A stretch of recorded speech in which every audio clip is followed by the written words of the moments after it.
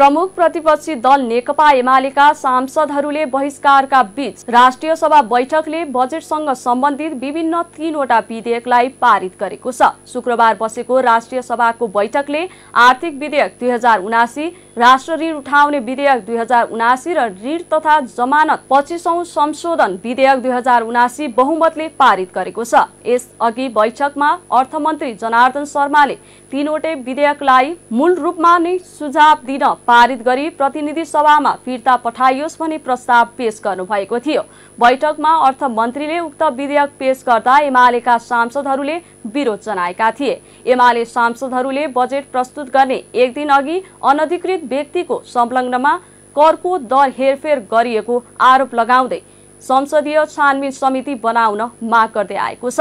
एमाले सांसद भैरव सुन्दर श्रेष्ठले आगामी आर्थिक वर्षको बजेट निर्माणका क्रममा अनधिकृत व्यक्तिको पहुँच पुर्याएर मुलुकलाई हानि पुर्याएकाले त्यसको निष्पक्ष छानबिन नभएसम्म आफूहरूको विरोध रहिरहने बताउनुभयो। बजेट निर्माणमा भएको कमजोरीको तथ्य सत्य पत्ता लगाउन संसदीय छानबिन समिति गठन गर्न आफूहरूको माग रहेको र एमाले संसदीय दलको बैठकले उक्त माग पूरा नभएसम्म बैठकमा सहभागी नहुने निर्णय गरेकाले आफूहरूले बहिष्कार गरेको उहाँले बताउनुभयो। माननीय अर्थमन्त्रीज्यूले यो बजेट निर्माण जस्तो कुरामाथि।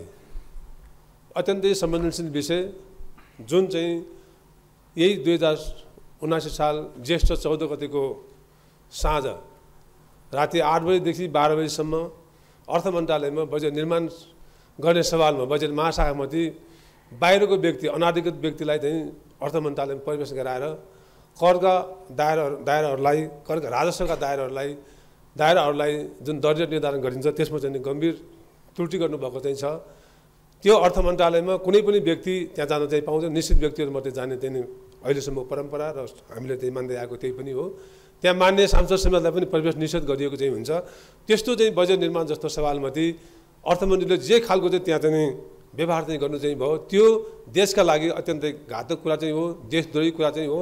यदि अरू मुलुकमा यही यो कुरा चाहिँ हुन्थ्यो भने अरू मुलुकमा यस्तै खालको चाहिँ अर्थमन्त्रीबाट व्यवहार हुन्थ्यो भने अहिलेसम्म अर्थमन्त्रीले आफ्नो पदबाट राजीनामा दिइसकेको र कानुन बमोजिम कठकरामा उभिनुपर्ने अवस्था हुन्थ्यो। हामीले बारम्बार सदनमा यही विषयलाई लिएर चाहिँ पटक पटक कुरा उठाएको छौँ। तर पनि अर्थमन्त्रीज्यूले नैतिकताका आधारबाट राजीनामा दिनुभएको चाहिँ छैन। संसदीय छानबिन समिति बनाइयोस् भन्ने माग पनि राखियो हामीले राख्यौँ।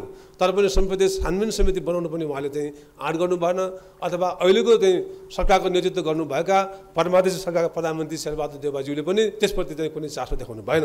यसले गर्दाखेरि हामी यो अर्थमन्त्रीज्यूले पेस गरिरहेको यो प्रस्ताव उप हामी सामेल नहुने नेकपा एमालेको संसदीय दलको चाहिँ निर्णय चाहिँ भएको कारणले गर्दाखेरि हामी आजको यो बैठकबाट जबसम्म अर्थमन्त्रीज्यूको चाहिँ राजीनामा आउँदैन। त्यस लगतै एमाले सांसदहरू कार्यसूची रहेको आर्थिक विधेयकसँग सम्बन्धित विषयको छलफलमा सहभागी नहुने भन्दै बैठक स्थलबाट बाहिरिएका थिए। एमालेको बहिष्कारका बीच राष्ट्रिय सभा अध्यक्ष गणेश प्रसाद तिमल सिन्हाले बैठकको कार्यसूची अगाडि बढाउनुभयो।